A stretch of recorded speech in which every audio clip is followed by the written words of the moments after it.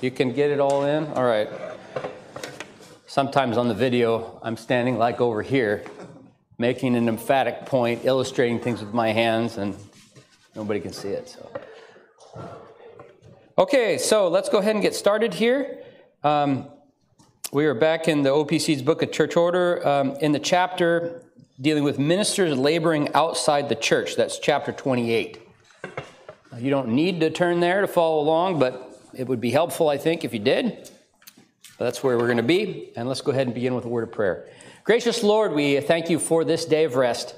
We thank you that on it, remember, we, you, we remember your work of creation and also, Lord, the rest that you took.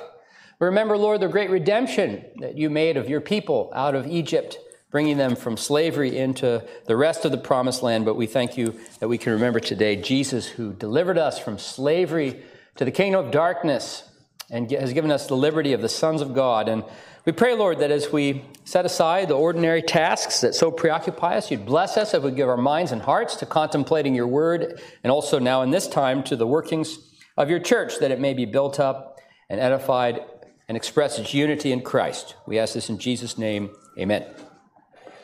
All right, so again, as we said, uh, we're dealing with the chapter that addresses ministers laboring outside the church. Now, again, by church here, we mean the denomination of the Orthodox Presbyterian Church.